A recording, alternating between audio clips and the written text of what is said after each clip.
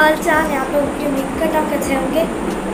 सो so, अभी आज हम जिस बुक पर बात करने वाले हैं उसका नाम है you are born to work hard ए अपने आदम तुझे मेहनत करने के लिए ही पैदा किया गया है। सो so, आज हम इसको पढ़ेंगे एंड देखेंगे कि इसके अंदर क्या क्या बताया गया है एंड सेगमेंट भी आज होंगे।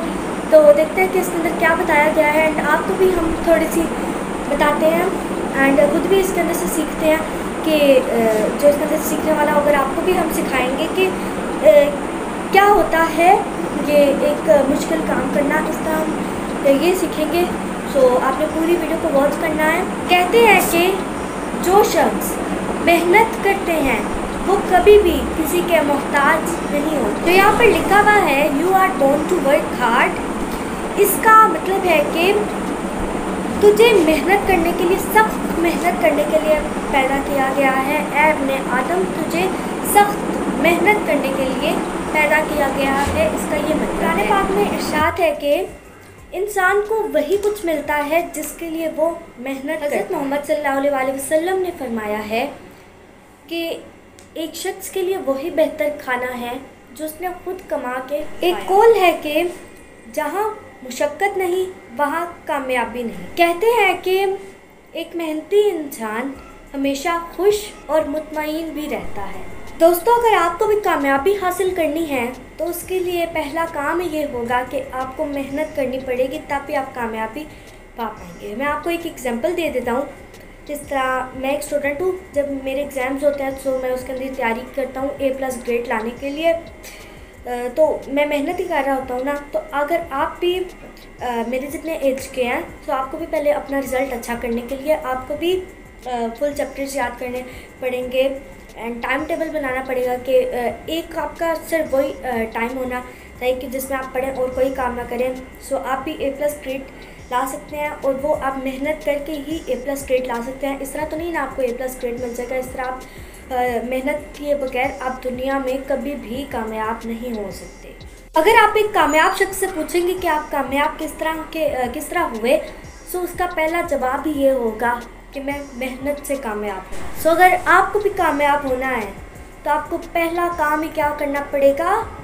मेहनत करनी पड़ेगी। सो आज से ही मेहनत स्टार्ट कीजिए। और आहिस्ता आहिस्ता आपको शुरू शुरू में आपको कामयाबी नहीं मिलने वाली। फिर आहिस्ता आहिस्ता आप कोशिश करेंगे तो एक दिन ज़रूर आएगा कि आप कामयाब हो जाएँगे दुनिया में। आइए आज की हम अपने सेगमेंट स्टार्ट करते हैं।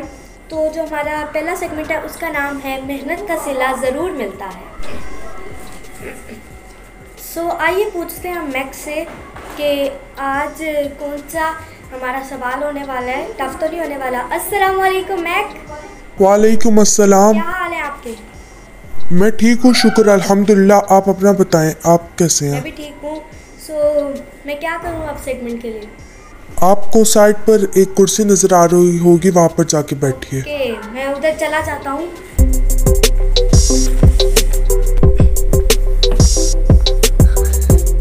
जी मैं आके बैठ के आऊँ। अब बताइए कि मुझे क्या करना है। मेहताब, आप हमें एक स्टोरी बताएँगे एंड उस स्टोरी का टाइटल होगा, मेहनत का सिला ज़रूर मिलता है। आप बताइए हमें स्टोरी मेहनत का सिला ज़रूर मिलता है, ये मुझे मिला है टॉपिक इस पर। अब मैं आपको स्टोरी सुनाऊँ तो स्टोरी मैं आपको सुनाता हूँ। स्टोरी कुछ यूँ है कि एक स्कूल में रेस का कंपटीशन होता है तो दो बेस्ट फ्रेंड्स होते हैं। तो एक घर से बहुत मेहनत करके आता है कि हाँ मैंने तो जीतना है। तो एक इस तरह कहता है जान पूछ के गरूर कर रहा होता है ना कि मैं तो इस तरह जीत जाऊँगा, वो हो जाएगा, ये हो जाएगा। इस तरह करने लग जाते हैं। सो अब आता है रेस वाला दिन। रेस वाले दिन में जिसने तैयारी की होती है, वो फुल परजोश उसका जो माइंड होता है, सिर्फ़ उसकी तरफ़ होता है कि अच्छा मैंने रेस जीतनी है, मैंने कहीं भी फोकस नहीं करना, बस मुझे अपनी रेस पर फोकस करना है, किसी की बात नहीं सुननी, बस। और जो दूसरा आता है, मैं तो जीत जाऊँगा, बड़ी उससे तो ये बच्चा है मेरे सामने तो। इसका कुछ कहने लग जाता है। सो, अब रेस स्टार्ट हो जाती है।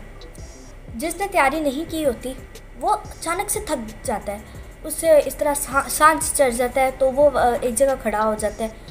तो वो जो जिसने तैयारी की होती है, वो उससे काफ़ी पीछे होता है। तो वो कहता है, देखो भी कितना पीछे है। ज़रूर कर रहा होता है ना? तो अचानक से जिस तरह वो अपना भागने लगता है जो सांस ले रहा था वो जीता होता है। सो जिसने मेहनत की थी वो जीत गया और जिसने मेहनत नहीं की थी वो हार गया। सो इसीलिए कहते हैं मेहनत ज़रूर करनी चाहिए। कैसी थी ये मेरी स्टोरी ज़रा मुझे बताइएगा। मेहताब मैं तो इम्प्रेस हो गया आपकी स्टोरी से। वाह वंडरफुल थैंक यू आगे मैंने क्या करना है ज़रा मुझे बताइए।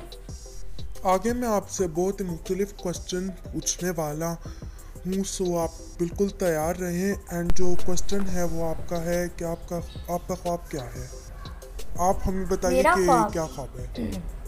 मेरा ख्वाब ये है कि मेरे जल्द से जल्द वन मिलियन सब्सक्राइबर हो जाए सो so, ये मेरा ड्रीम कंप्लीट हो जाएगा अगर मेरे वन मिलियन सब्सक्राइबर हो गए तो। मेहताब आपने कहा कि मुझे वन मिलियन सब्सक्राइबर चाहिए तो आप ये किस तरह कर सकते हैं? आप बताइए। अच्छा कंटेंट ला के अच्छी वीडियोस बना के आई थिंक सो मैं पूरा कर सकता हूँ अपने ख्वाब को। क्या आप अपने ख्वाब के लिए मेहनत कर रहे हैं? बताइए हमें।